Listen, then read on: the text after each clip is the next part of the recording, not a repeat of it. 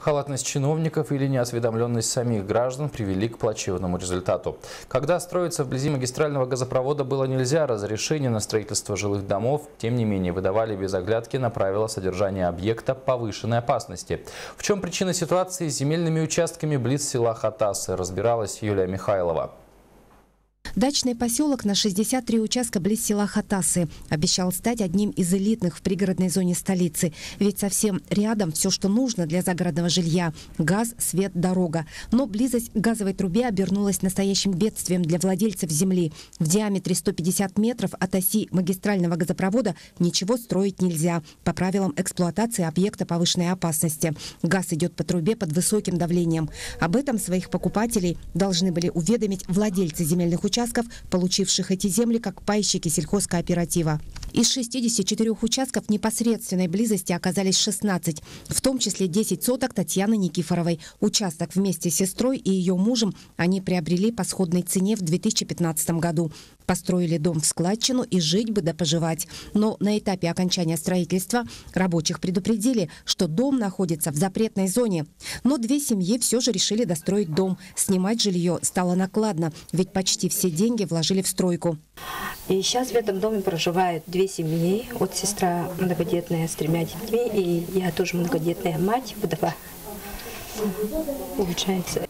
А супругов Ржаковых, чей дом строился в течение года, ни разу не посетили сотрудники Сахатранснефтегаза. Исходя из правил охраны магистральных трубопроводов, запрещается возводить любые постройки и сооружения без согласования с газотранспортной организацией. Поэтому здесь в каждом конкретном случае э, будем смотреть, что вы там делаете, ну, какие постройки там у вас есть. Суд постановил семье Ржаковых снести их новый дом.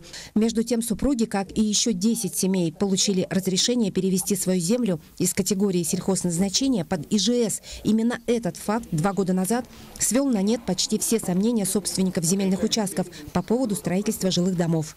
На очередной встрече с властями республики и города собственники злополучных участков обсудили пути выхода из этой непростой ситуации. Город Якутск предложил зоны в в районе Хатас под Мену, как обещали, там конкретные уже участки. В течение двух недель э, люди познакомятся, что это. Если же будет желание, то начнется процедура мена этих земельных участков. Есть три участка, по которым были выданы документы э, на, и в том числе решение строительства. Соответственно, эти люди будут ждать решения суда. Не исключено, что решение суда определит э, кто э, допустил в данном случае значит, нарушение, повлекшее за затраты, которые у этих людей появятся. И тогда у них есть надежда, что будет э, разговор идти, кто компенсирует затраты в связи с переносом или значит, с теми затратами, которые они понесли при строительстве. Как двигается дело к счастливому концу? Следующая встреча состоится через две недели. Юлия Михайлова, Владимир Павлов, НВК Якутск.